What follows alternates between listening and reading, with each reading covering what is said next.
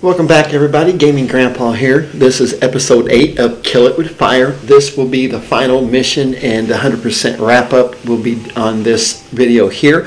Just like moving out, my first little series, I'm going to have a wrap up video. I don't know, I think it was five or six minutes. It's just kind of like a cool looking PowerPoint that tells you like the easiest, easiest achievement, the hardest achievement, most boring achievement, just little things like that I thought was kind of interesting. Um, just something different, I guess, to do to show everybody how easy it is or how hard it would be.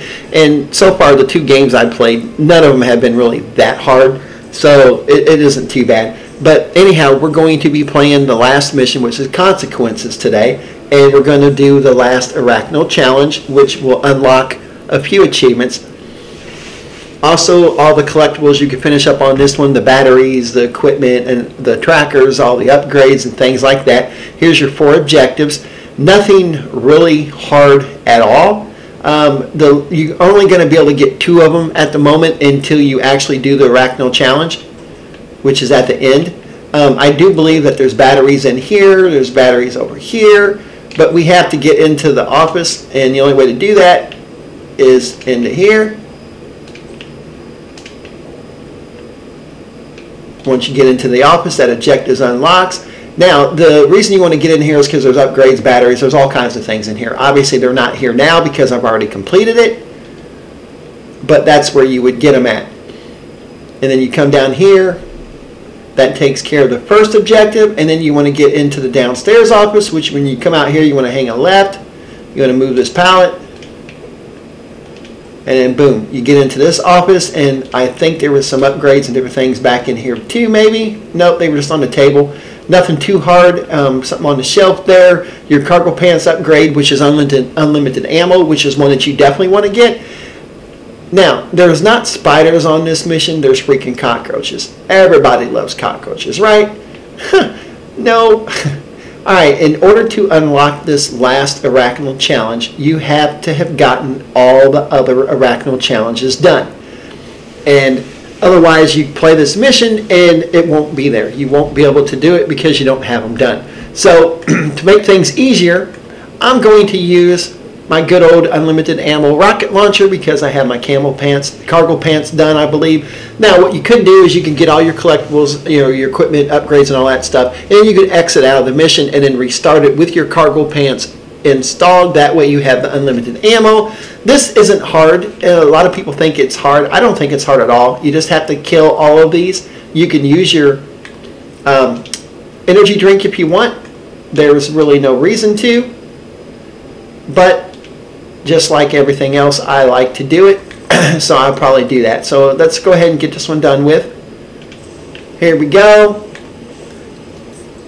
Now, just like all the other ones, they come out everywhere when you're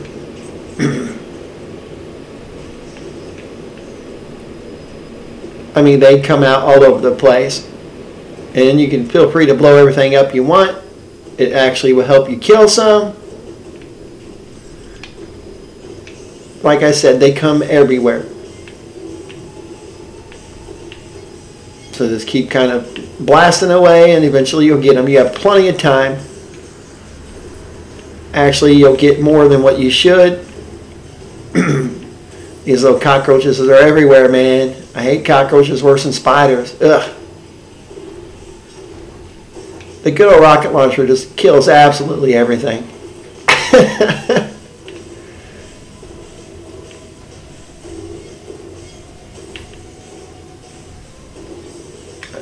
I'm going to go ahead and drink one more just because.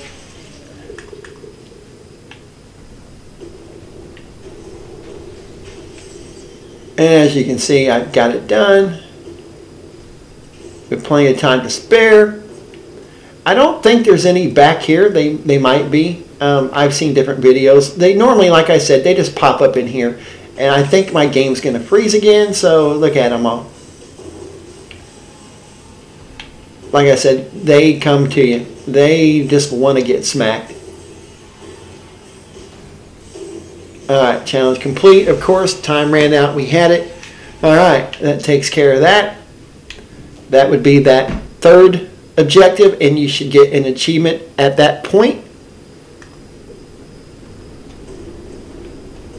Oh my goodness, there's huge spiders. No. Uh, I can't kill any. Okay, now the last objective is to step into the light. I have no idea what this is. but as you can see, the light will be coming any minute. Now that I said that, is it actually here it is. See all the little bubbles or whatever you call them, the rays of light. There we go. No. that would finish the game and therefore hopefully you have all the achievements done.